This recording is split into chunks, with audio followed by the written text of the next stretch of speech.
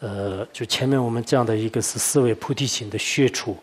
呃，四维菩提心的学处以上已经讲完了，就是现在讲的是第，呃，四维第二个就是四维菩提心的学处，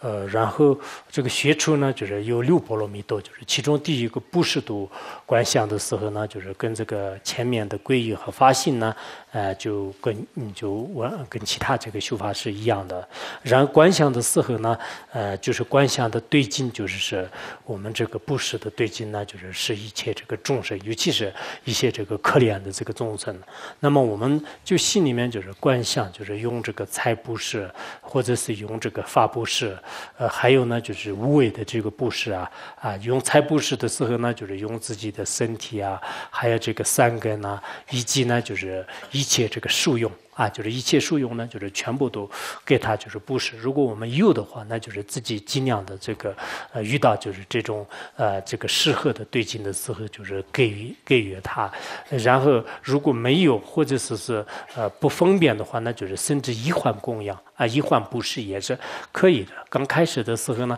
很多都我们以前学过的修行契要里面，就是实在是这个舍不得的话，那就是自己手里面就是左手给右手，右手给左手，这样来就是进行这个修炼。就是到最后的时候，自己的身体呢，如心论里面所讲的一样，就是像蔬菜一样，就是不会执着的。所以。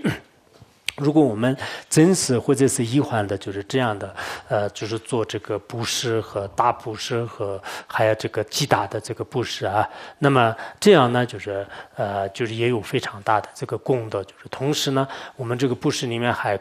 包括这个供养。啊，就是供养啊，就是通过呃真实的这个供养啊，或者是依靠这个灯词你来这个供养啊，还有依靠呢，就是医患的这个供养，这个三宝等等，就是在行为当中，就是经常我们就是尽量的这个做这些，呃，还有对一些废人啊，对贵僧啊，就是这些呢，做这个柿子啊、金穗啊、烧盐盐呐等等的，就是通过这种方式来供施供供养和，那么这个是一方面是观想的，一方面呢就是自己应该说。这是一种这个修炼啊，就实际当中也是，哪怕是比如说我们遇到就是众生的时候呢，就是所依据这个佛法呢，就是也是法布施。然后路上看到了一个众生正在这个生命脆弱的时候，把它放在另一个安全的地方的话，这也是是一种这个无为布施。然后财布施的话呢，我们这个呃，比如说这个见到了这个呃一些这个乞丐呢，就是自己在没有吝啬的情况下，哪怕就是拿出一分钱呐、一毛钱呐、一块钱呢，